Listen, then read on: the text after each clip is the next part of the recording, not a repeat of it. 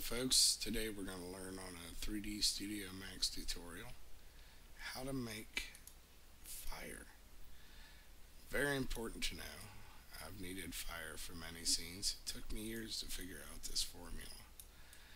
Um, what you're going to do is go ahead and right off the bat pick you um, out of particles a super spray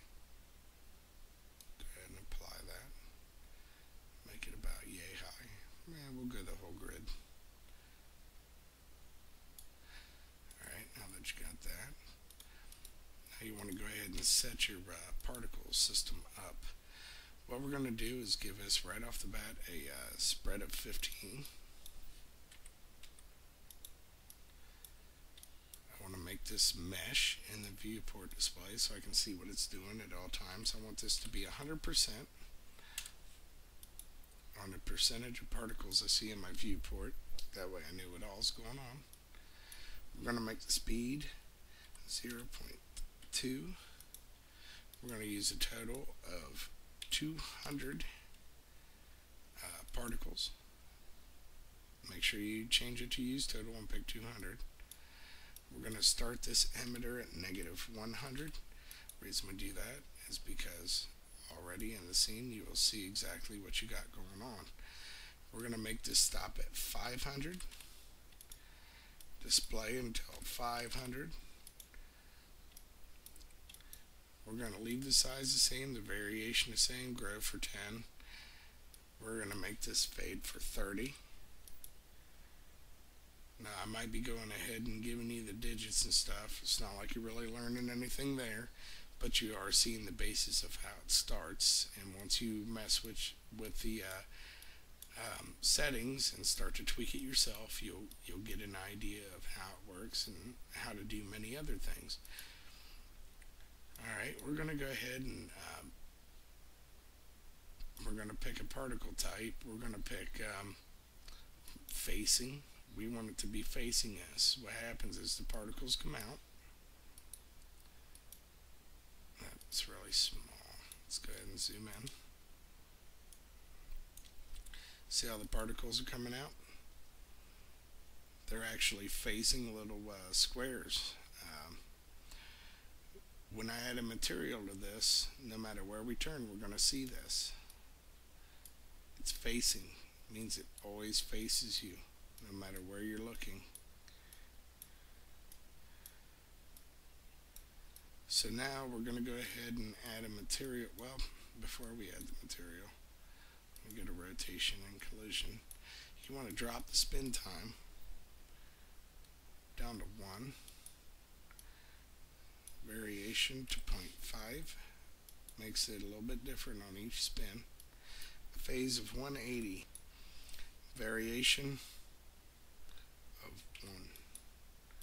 This makes uh, one point difference in the way the variation of the spins are on the phase of 180 degrees.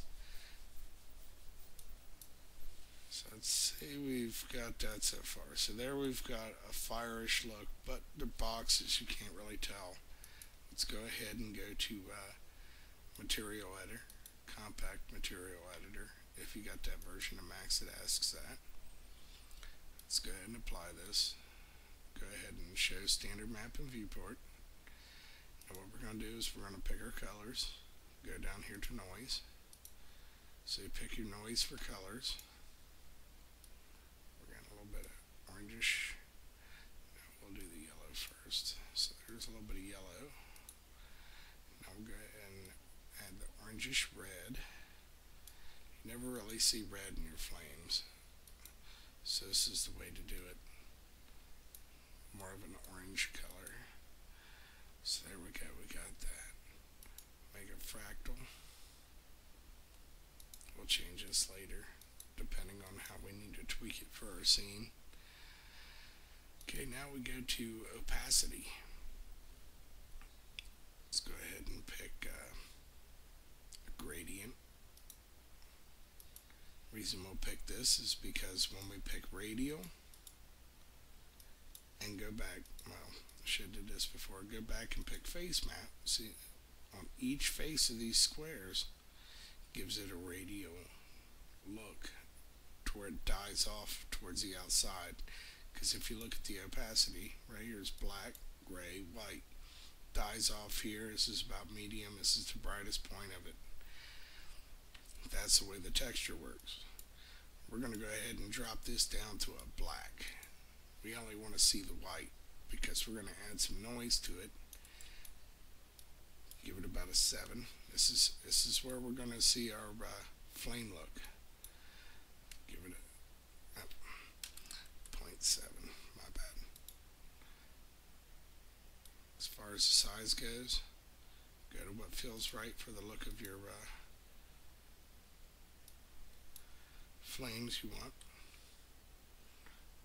Let me go ahead bring this up bigger. That way you get an idea. There we go, there's that.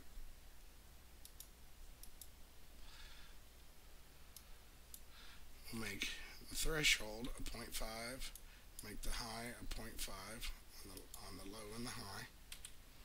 reason we're doing this is because the blending between the two colors will be, um, they actually won't be blending much. Puts off more of a sharper look to them. Let's see, I'd say four or three is probably about good on these. Try three for right now. Okay, so that's that. So now we got our opacity or color. Let's go back over here to the parameters of the super spray. We're going to look at the size. Let's change it. Put it up to about 3. I need to get rid of this glossiness. Don't need that. Fire's not glossy. Alright, we'll go back down here and adjust this a little more. It's too strong. So about 4.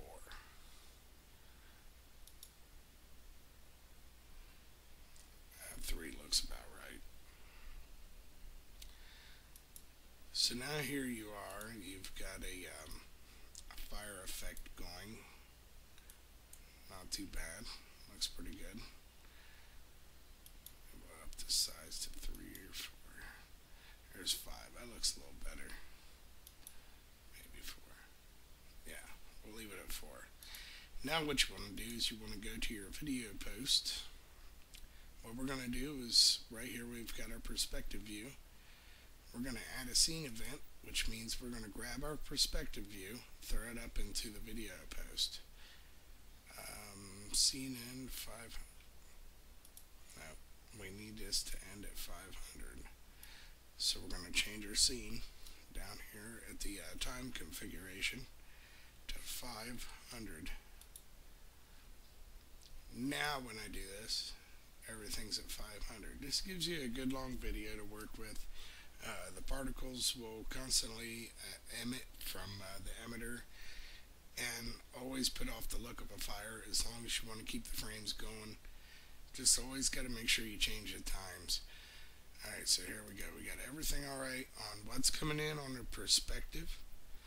Now what we want to go ahead and do is add a filter event. We're going to pick lens effect glow. This is how we're going to get our fire's brightness. Now, after it filters, we want it to dump out to a file. This is going to be our AVI. Let's see, pick fire test. See, I've already got one. Save. We want this to be Microsoft Video 1. There we go. Okay. So we got it coming in from perspective, getting a glow effect, and then going out to your output for your video. Whatever you want to use for your codec is what you use, but this is the order it goes in. Uh, go ahead and go to lens effect. Well, before you go to lens effect glow, click on your fire. You want to pick properties. You want to put this at a G buffer object ID of say 2. The reason we're going to pick 2 is because when we go up here, go to setup, we put the effects ID, or no, the object ID to 2. Hit preview VPQ. Look, there's our fire. It's glowing. Use Pixel because what Pixel does is gives you the colors that come off of originally what your um, um, flame flame texture is putting off. Uh, the reds and oranges like you picked, that's exactly what's coming off here. And if you pick pixel, it's going to give it a glow coming off of those pixels. pixels. The same colors pretty much. I'm going to drop the intensity down. Say about intensity of 1. And maybe 2. I'm going to drop the size down. Say probably 2. Yeah, 2. Hit OK. Go ahead and go up here and you're going to test your scene out. You're wondering how your uh, fire is going to animate. HD TV video. Pick 1280 by 720 or whatever you want. This is what I prefer if you're wanting to make something uh, you want to show others. It works with a lot of, um, like for instance YouTube. If you want it to be on YouTube, this will be a, a high definition video because it's strongly supported. Um, but other than that, I'm not going to go in depth on that. Go ahead and render.